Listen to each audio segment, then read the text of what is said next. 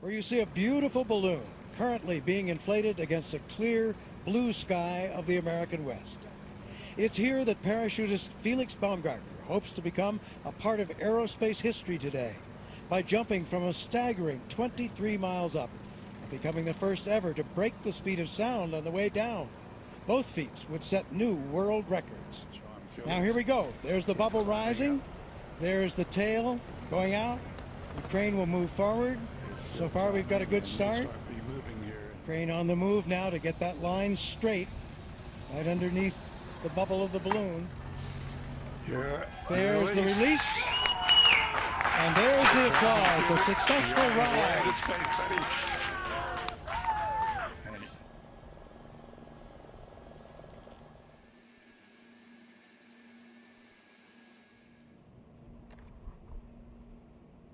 Seven point nine two psi inside the capsule, 0.15 ps outside. So on the one hand, we've got Felix Baumgartner, 43 years old, from the nation of Austria, helicopter pilot, parachutist. He already jumped from nearly 19 miles high back in July.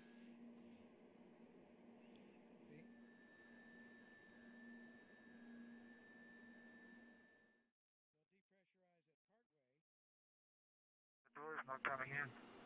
Well, you, you, is the put the dump valve all the way to the rear. Put the dump valve all the way to the rear. Item 27, lift legs into the door threshold.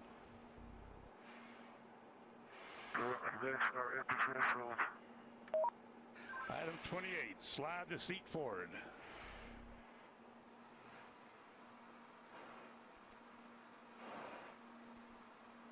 Okay, item 29, release seatbelt.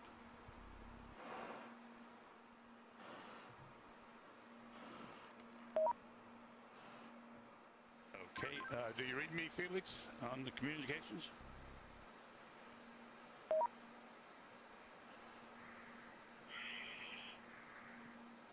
Uh, Felix, give me a short count. Felix, disconnect the oxygen hose. Atta boy. All right, stand up on the exterior step. Keep your head down. Release the helmet tie-down strap. Start the cameras. And our guardian angel will take care of you.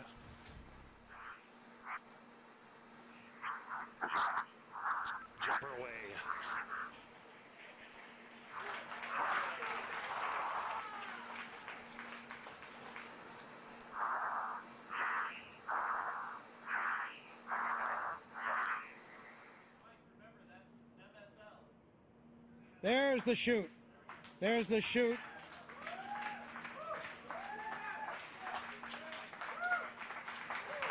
In here, I'm facing that big tower. Okay, and the wind's out of the east. I'm sorry, I gave you the wrong information. Out of the east.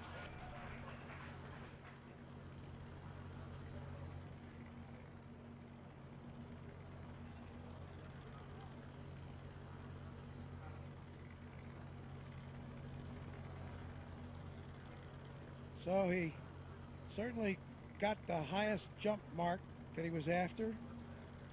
We'll find out about the Mach. Did he break the speed of sound as he hoped? Here he's coming.